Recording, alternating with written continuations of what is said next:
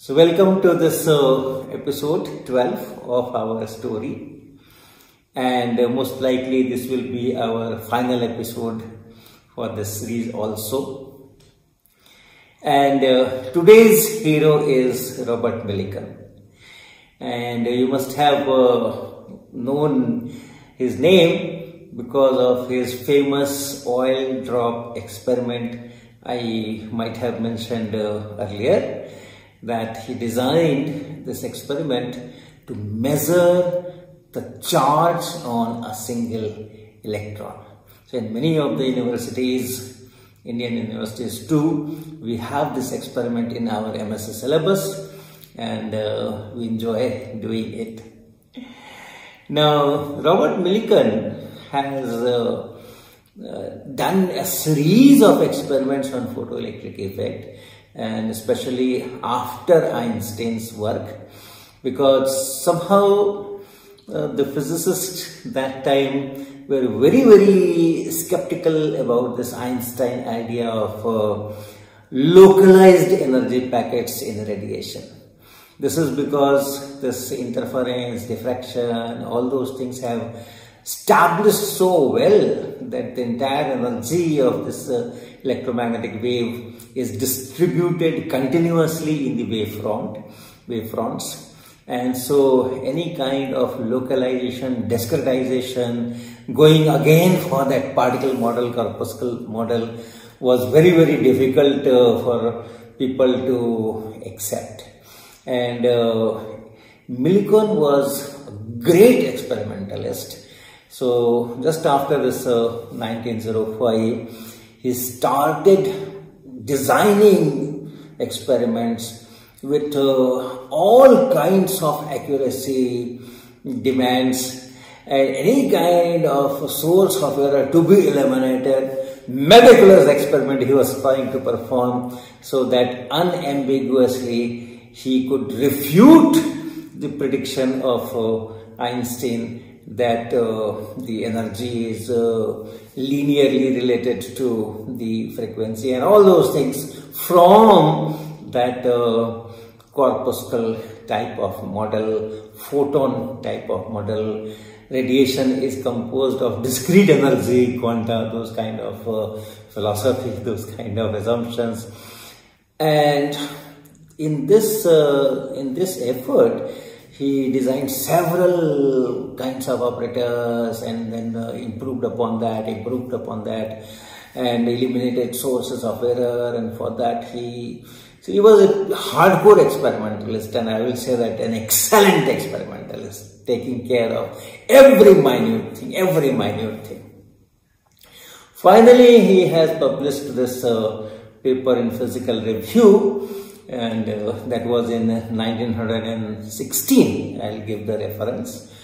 And i will be describing a little bit on that paper especially the vacuum tube that he has designed or the apparatus that he has designed has many many very special characteristics. So i will show you that diagram that he has put in his 1916 paper in Physical Review. And then based on that diagram, I will describe what it is. So let's go to our screen. So this is that diagram and uh, it uh, says that it is the ninth operator's ninth vacuum tube that he has fabricated so he was working on it uh, from uh, 1905, 1916 he is writing this paper and uh, nine times he has changed the operators. So you can just see how much he has uh, concern for uh, removing all sources of uncertainty to the maximum possible. So finally this design uh, comes up and let me explain what it is uh, in the next slide. So here you see on the right side emitter, sodium, lithium and potassium. There are three cylinders mounted on a wheel. One is of sodium, one is of lithium and another is uh, uh, of uh, potassium. He has worked with uh, sodium and lithium and not with potassium, though he had planned to do that. Now, this wheel can be rotated to bring the desired cylinder in front of the light source. This uh, cylinder on the right on which I have uh, put that line saying that this is emitter that is in the right position. The light will come from the right and fall on the, its surface.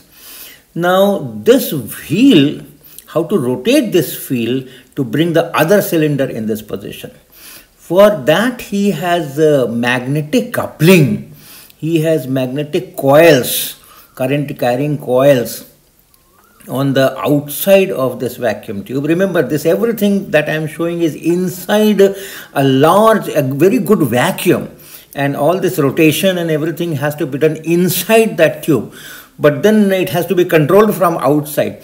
So from outside he is producing those magnetic fields which he is controlling and then inside also he has the corresponding uh, electromagnets or circuits and uh, using that interaction he is able to rotate this wheel and bring the appropriate emitter in front. Now on the left also you see electromagnet. In fact, a diagram shows that yes, there is uh, some magnetic thing, some coils and some circuits. Now that knife, focus on that knife that I have written. A small knife is there and that knife is mounted on uh, some some structure and this electromagnet or the magnetic coils which are there will be used to push this whole structure towards right. So what is this all about? Why this knife is inside the vacuum tube? Because the photoelectric effect pertains to the surface of the metal. And if it is sodium, it should be sodium. But whatever is that residual uh, air in this uh, tube, this uh, metal surface will get oxidized at the surface. Now, if the surface gets oxidized, the entire character is changed. And uh, you don't have much control. Gradually, it oxidizes, and it's a time dependent function. So, every time the experiment is done and the data taken, that surface has to be cleaned, and this knife is for that cleaning. So, the wheel will be rotated and the appropriate emitter will be brought in front of this knife and then uh, from the left uh, magnetic coils this whole structure will be taken towards right and then uh, it will uh, scrap that surface layer from that uh, emitter. So those are the kinds of uh, care he is taking.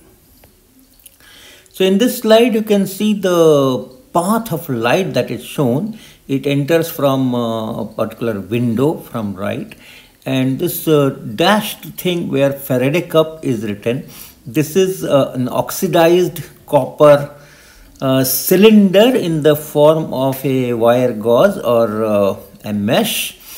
And this is actually the collector. So this uh, sodium or lithium whichever emitter is used first that is cleaned by that knife.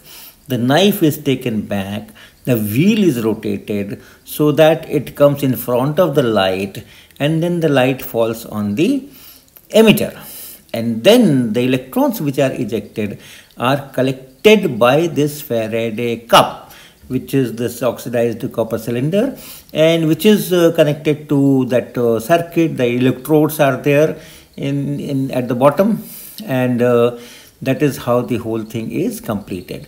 Now how much how many electrons are being collected by this Faraday cup that is measured and uh, through the current which goes through that uh, emitter circuit and that is how the photo current is measured.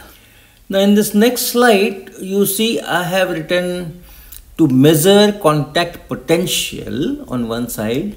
Other side uh, it is oxidized copper and that indicator is on a line where a small in small letters S is written. So this is a plate, oxidized copper plate and uh, I'll tell on the board what it is all about. So let us talk of contact potential. and this term comes into picture when you have two different metals electrically in contact with each other. So I give you an example. Suppose you have uh, some plate A, metal A, some plate which is made of a metal A, another plate made of plate, some other metal, say B. So you have two different kinds of metals here, maybe uh, one copper, one zinc or any, any two. Now, as long as they are not in contact, fine. But suppose they are put in contact. Suppose this uh, wire of material B is properly connected between these two. Suppose this is wire of that same metal B. So, at the junction, since the two metals are different and they are all electron density and all those things are different, so there is a flow of charge from one to the other and some charge appears here, some charge appears here. Positive and negative equal and opposite because total is of course neutral. Alright, so suppose uh, some positive charge is developed here, some negative charge is developed here and if you talk in terms of potential, if this potential is zero, we have not put any battery or any source. This is zero, this is zero this is 0, this is 0, but right on the other side we will be k and that we will be k everywhere. That we will be, be equal to k everywhere and so on. So this whole thing is at one potential. Then there is jumping potential and then this whole thing is at one potential and this potential difference across the junction depends only on the nature of the material. Only on the nature of the material. What metals are here and here. Alright. So now is known as contact potential. This K is known as contact potential. And how do you measure? How can you measure? Various ways. One way is that uh, the charge that appears here and the volt that appears, the potential difference that appears here and therefore here. And then you have some capacity, right? You have some capacitance.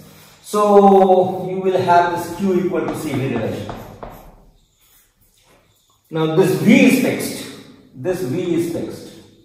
This is this junction will decide how much is this V. Now if you change the separation little bit, what are you changing? You are changing the capacitance. Eh? Parallel plate capacitor, some epsilon naught A by D. So if you change the separation, the capacitance changes, the contact potential still remains the same, so this will remain the same and therefore this charge will change.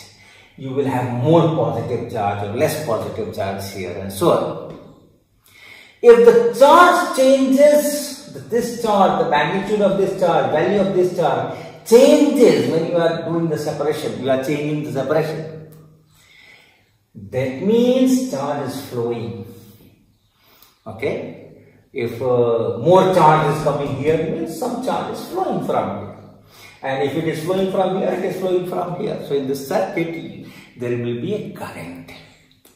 Now, if you can measure that current, and then you can relate how much uh, I am I am changing the separation and how much current is being produced and therefore how much charge is going in, in a certain time interval. From those things you can calculate this contact potential. Now that we know that this kind of thing is there, let's look at that photoelectric Einstein equation once again. So let us consider a typical photoelectric effect uh, experimental setup. You have an emitter, then you have a collector and a light source and then electrons are coming out and here you have a, a potential potential difference applied between this collector and the emitter and this voltage, the positive voltage on the emitter so that uh, the electric field is in this direction which will oppose the motion of this electron. So it is kind of retarding potential. So if this battery or whatever you are using arrangement, if this voltage is V0, suppose this is your grounded, so this is V equal to 0 and then you have V equal to V0 here.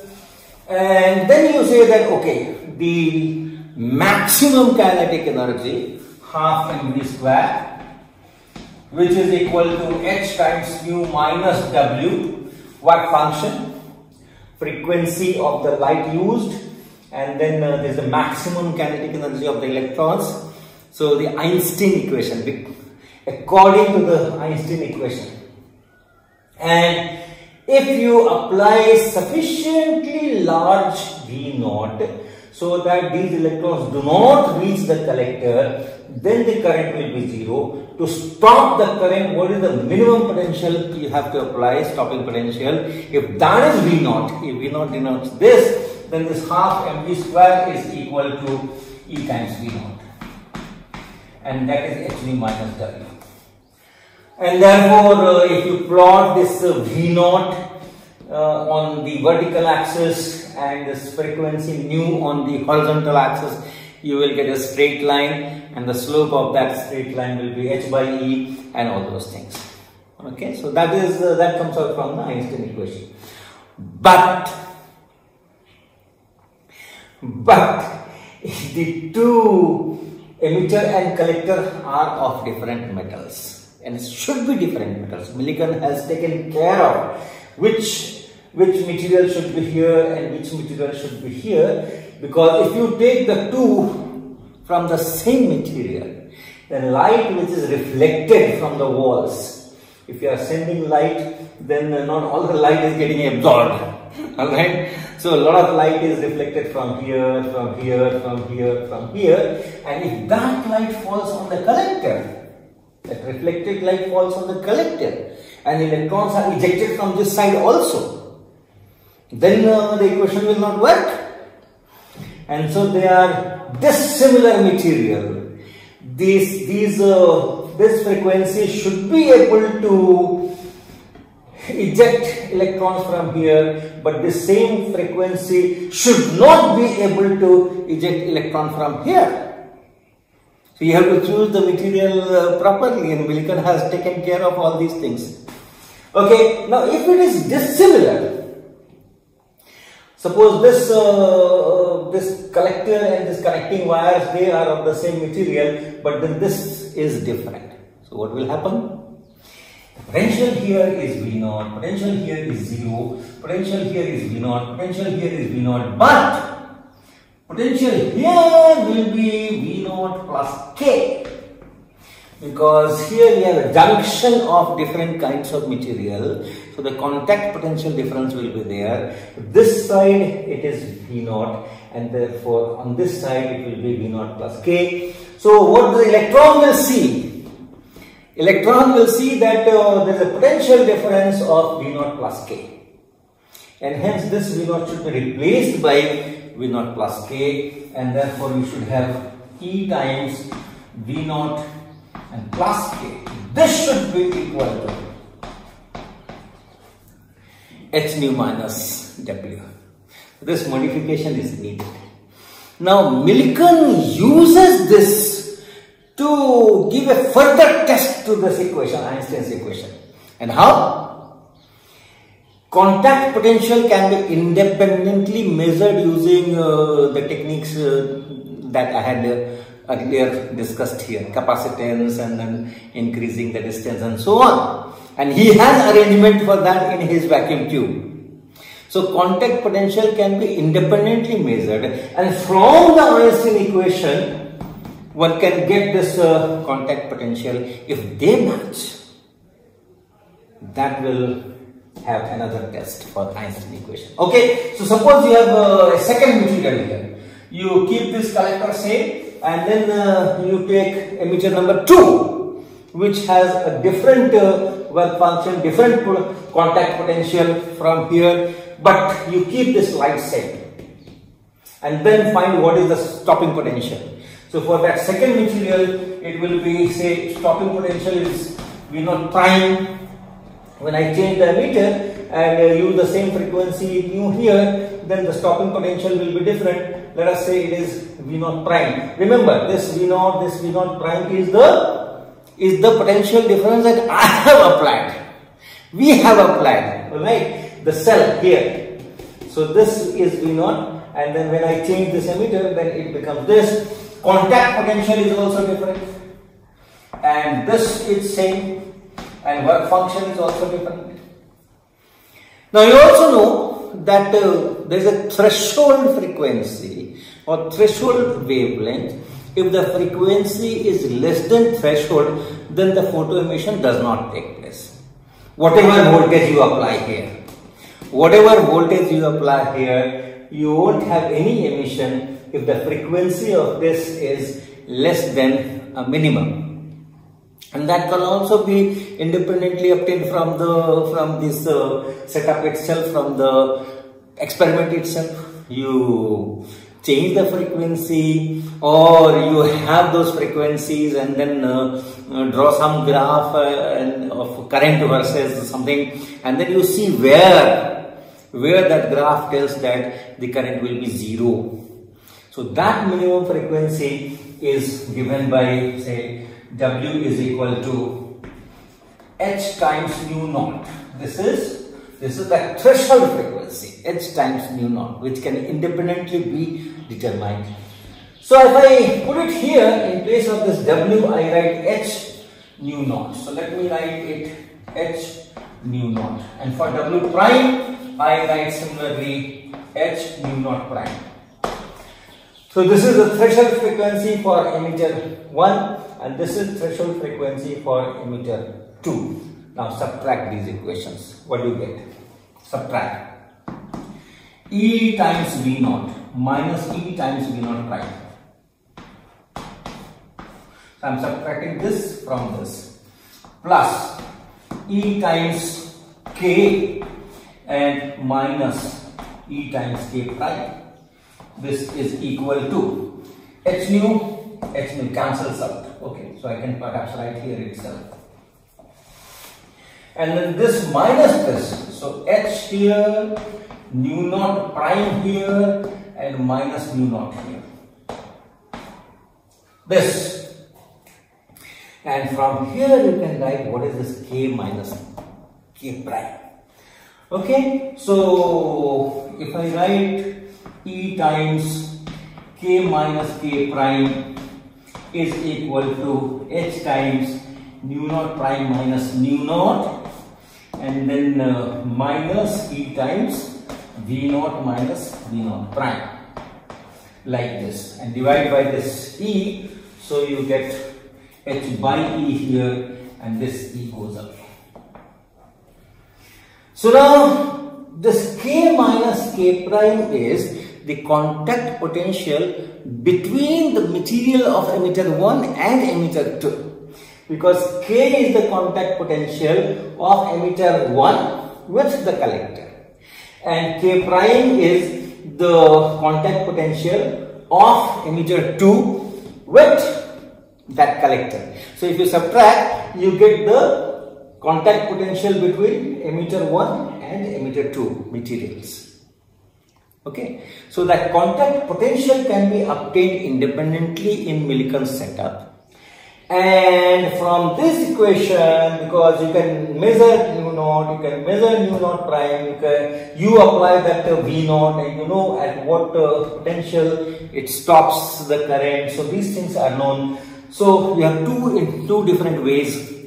One is direct measurement of contact potential, and then second is from these parameters and these two should be equal. If they are equal, that means this equation is valid. Alright? So, Millikan does that also. So, let me go to screen and discuss it further. So look at the right side, I have written oxidized copper and then this uh, indicator line is going to a plate where S is written, capital S is written.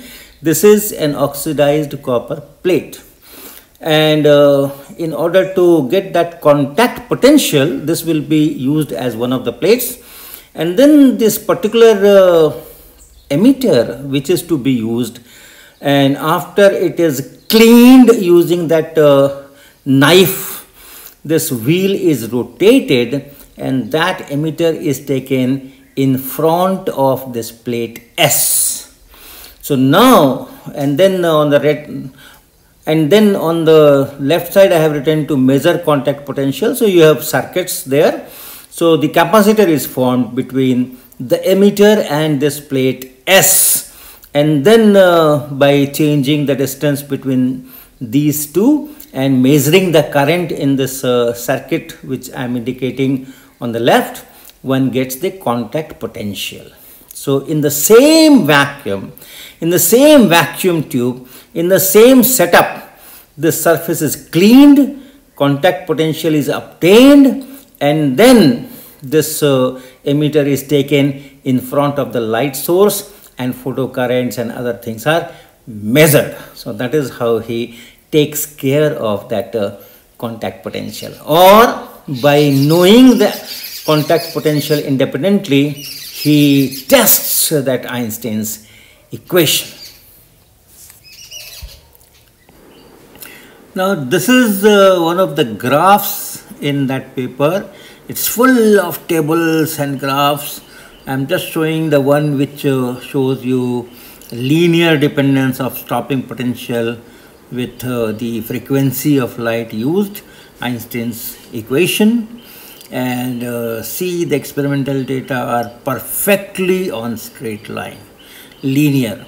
And from that line, slope of that line, he has calculated the values of Planck constant and it turns out to be very, very close, which is written in this uh, box in handwriting.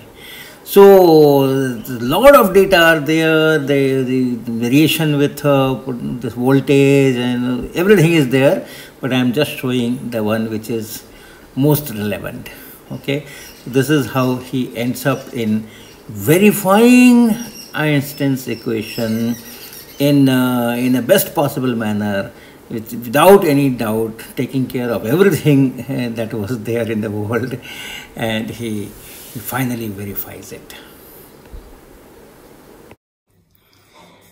So you can appreciate uh, how well designed was all these apparatus and uh, no wonder it took him 10 years to reach this perfection and in uh, this period many more physicists uh, performed experiments to verify this Einstein's uh, predicted law of uh, photoelectric effect, but uh, the kind of accuracy, the kind of perfection with which Millikan did it was uh, certainly beyond doubt and, uh, and therefore the most reliable test. And when the actual experiment was performed, photocurrents were measured, stopping potentials were measured, frequency, he took that uh, mercury lamp and uh, by using proper filters he could uh, use uh, he could stay away with the stray radiation. So almost monochromatic light he used and uh, so many lines and so many wavelengths and took extreme care of uh, what is the stopping potential and, the threshold frequency and uh, whether this uh, collector is not emitting electrons because of reflected uh, radiation that falls on that. Everything taken care of and results were in uh, beautiful match with Einstein's prediction. Beautiful match with Einstein's prediction. Millikan was very critical of uh, the theory, the philosophy of Einstein that uh, radiation energy is localized in uh, different, different, different, different uh, packets hmm, of, uh, of h nu. So he was absolutely not ready to accept that. And even after, even after this uh, most successful verification of Einstein's equation, Millikan had reservations in accepting that photon theory. I will uh, read some lines from his paper showing his concern about the theory. But then uh, when Millikan himself was awarded Nobel Prize in Physics 1923 uh, for working on the electron, the measuring charge of the electron and doing such a beautiful, wonderful experiment on photoelectric effect. By that time he had he had uh, accepted or he was convinced that okay, maybe nature is like that. So that is uh, the story of uh, photoelectric effect and uh, once this 1916 uh, this Einstein's prediction was verified, then uh, the scenario changed very rapidly. Although Millikan himself was not convinced, even in the writing of 2000, this is 1916 paper, I will just read some lines before I, I leave. But, uh, but uh, the scenario changed so fast and people started uh, uh, appreciating Einstein's insight and his ability to think and come out with very bold hypothesis, very different hypothesis, contrary to all beliefs, all traditions and all those things. And he was awarded Nobel Prize in Physics 1921, which for which we are now celebrating this centenary year. So thank you very much. I hope this uh, 12 lecture series uh, was useful to you uh, the knowing the historical perspective, knowing the struggles, knowing the commitment, uh, all those things is uh, very inspiring and as science students, as science persons, as science teachers, we, we should imbibe those qualities. Thank you very much. Okay, so before leaving, let me read uh, two sentences from here.